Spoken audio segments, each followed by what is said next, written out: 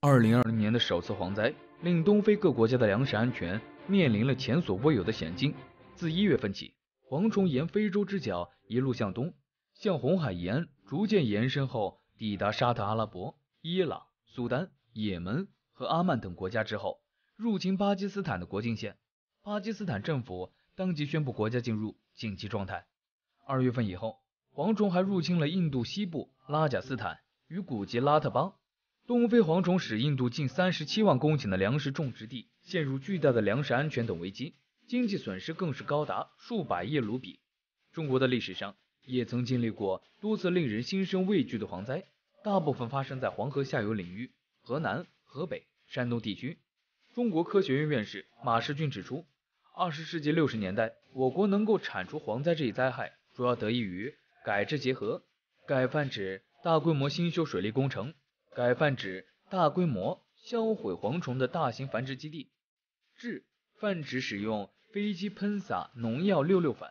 从而能够高效的将蝗群赶尽杀绝。一九六零年，河南郑州的航空站改名为中国民用航空局，协运五号飞机一同治理消灭蝗灾，迅速的结束了蝗虫成灾的局面。一九五五年到一九六九年期间，用飞机撒药治理蝗灾的方式几乎家喻户晓。再结合人工一同防治，平均每年治理的蝗虫数量大约在九到二十万亩左右，治理效果更是高达百分之九十以上。解放前期的蝗灾现象曾多次爆发，一九四四年的秋季时期更是达至顶峰。解放后也曾发生过数次程度不同的蝗灾，直至一九六零年用飞机灭蝗灾的方式出现后，使得蝗灾逐年减少。一九九六年，蝗灾的局面基本已经被我国遏制。二零二零年二月十一日，联合国粮农组织发出预警，全面警惕蝗虫入侵。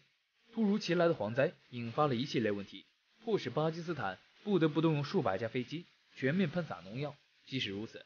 巴基斯坦境内的蝗虫每天依然还在成倍的进行增长，这是因为一只蝗虫一次可产出八十到一百二十颗卵，每二十天进行一次繁殖。据闻，目前抵达巴基斯坦境内的这批数量庞大的蝗虫。仅仅只是他们的先锋部队，蝗灾的主力军才真正向巴基斯坦境内前进。面对这场史无前例的巨大蝗灾，联合国粮食及农业组织向世界发出了七千六百万美元的求助信号。目前得到的援助资金与提倡的呼吁相差甚远。联合国副秘书长洛可可对全世界发出警告：降水量充足的三个月会为蝗虫繁殖提供更为有利的生长环境。如果不对此采取相应措施，人类将会面临一场。难以挽回的灭顶之灾。印度的巴基斯坦与中国接壤，数千亿只饥渴难耐的蝗虫会不会席卷国境内呢？实际上，中国和印度边境之间存在一道天然防线——喜马拉雅山脉。即使巴基斯坦无法阻挡蝗虫大军前进的脚步，但是在这座巨型雪山面前，再凶猛的蝗虫也会瑟瑟发抖。再加上巴基斯坦境内气候温和，农田广布，想必蝗虫们更愿意葬身在巴基斯坦的风光中。